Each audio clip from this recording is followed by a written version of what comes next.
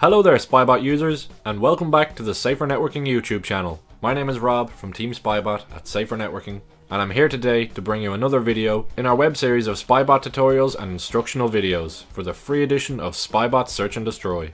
Today's video will be disabling tracking cookies with the system scan using the Spybot free edition. So let's get started with today's video.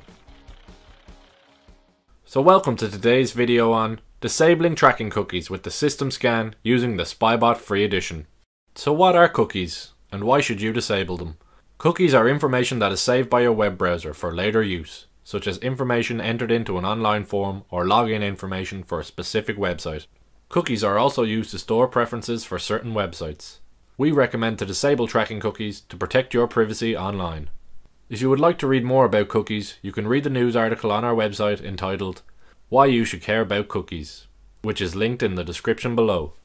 So let's go ahead and open up the Spybot Start Center by right clicking on the Spybot Start Center desktop icon, then choosing Run as Administrator to launch Spybot with administrator privileges. Select Yes when prompted by the user account control, then wait for the Start Center to load. Once the Start Center is loaded, you can click on the System Scan icon in the Basic Tools section to open the System Scan window. If you are using a licensed edition of Spybot Plus Antivirus, a system scan will begin automatically, so if you wish you can cancel the current scan before proceeding to disable tracking cookies. Underneath the last scan area in the system scan window, we see tracking cookies. Tracking cookies are used to create a profile of your online behavior. We recommend to disable tracking cookies to protect your privacy when browsing online. To disable these cookies, click the Disable These Cookies button. This will give you a list of all browsers and browser profiles on your PC. Click on the browser profiles you would like to disable. The browser profile entry should now appear greyed out in the selection list once cookies have been disabled for that browser profile. We recommend to disable tracking cookies for all of your browsers and browser profiles.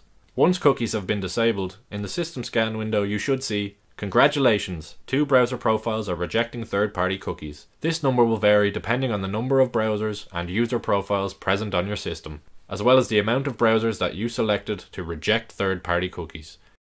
If you would like to re-enable cookies for one or all of your browser profiles, you can click the drop-down arrow beside the Disable These Cookies button. Then select Re-enable these cookies, then choose which browser profiles you would like to have cookies re-enabled on.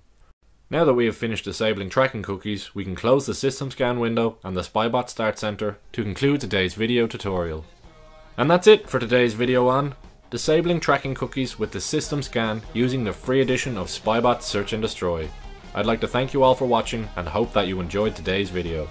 And if you did, don't forget to like, share and subscribe. If you have any queries, you can leave a comment in the comment section below, or you can get in touch by sending an email to teamspybot at spybot.info or by using the request support page in the support center on the Safer Networking website. I've been Rob from Team Spybot. Thanks again for watching. Stay safe, keep on searching, keep on destroying. See you guys soon.